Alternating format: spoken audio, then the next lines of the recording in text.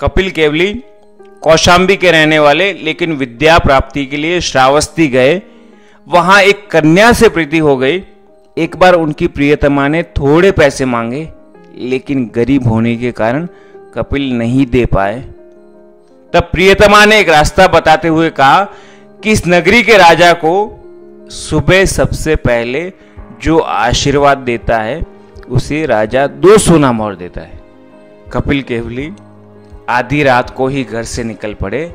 मन में यही सोच थी कि सुबह उनसे पहले कोई और पहुंचकर राजा को आशीर्वाद न दे दे। लेकिन आधी रात को घूमते हुए कपिल को राज सैनिकों ने चोर समझकर पकड़ लिया। सुबह राज दरबार में पेश किया गया। राजा द्वारा पूछे जाने पर कपिल ने पूरी घटना बता दी। तब राजा ने कहा, कहो, तुम्हें अभेदान है। क्या चाहिए? जो मांगोगे, आज वो मिलेगा। कपिल ने कहा, राजन, मुझे थोड़ा समय दीजिए, मैं आपको सोचकर बोलता हूँ। राजा से अनुमति लेकर कपिल बाहर आकर उद्यान में बैठे। वो सोचने लगे, क्या मांगो?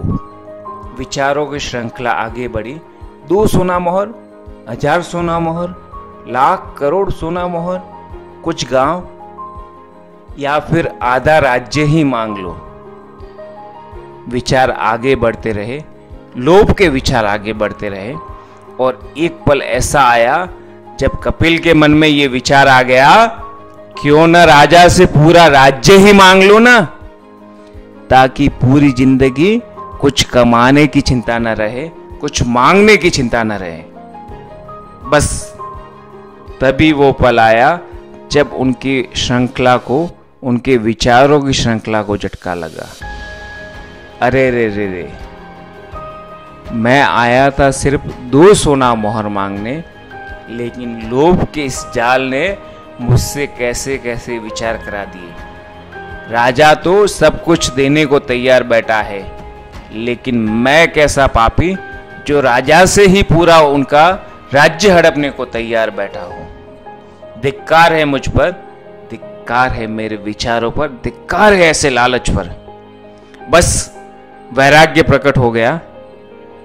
कपिल ने उस पल ना सिर्फ़ लोभ को त्यागा, बल्कि पूरा संसार त्याग करके, मुनि वेश धारण करके आगे की राह पर चल दिए।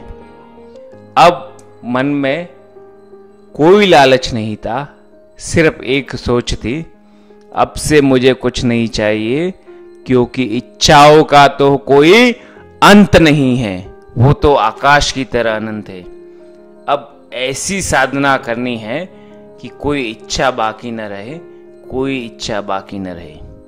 कपिल सब कुछ त्याग करके आगे की राह पर निकल पड़े। घोर तप किया, केवल ज्ञान को प्रकट किया, वह कपिल केवली के नाम से प्रसिद्ध हुए। आज इस घटना का एक ही संदेश है। कि यदि हम अपने जीवन में बदलाव लाना चाहते हैं तो बदलाव के लिए विचारों के एक पल भी बहुत काफ़ी है।